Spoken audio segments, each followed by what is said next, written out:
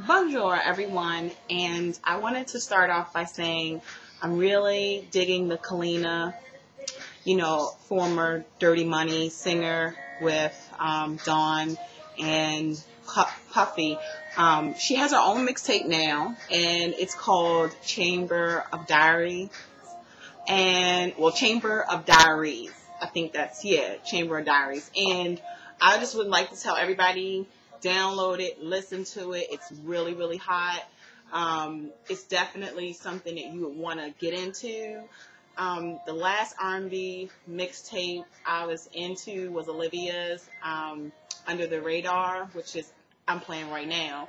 So um, that's been out for a minute though. So I've always been an Olivia fan. Um, she is the only reason why I was watching Love and Hip Hop, but I had to discontinue that.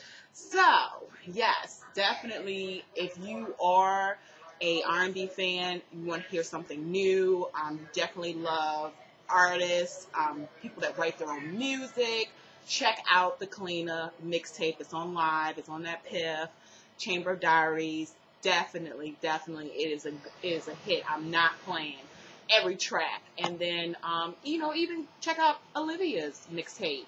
Um, under the radar, even though it's now probably like two years old, but still, you know, she's definitely a good singer, a good songwriter. That is just something to do. Okay, well, have a good rest of the day.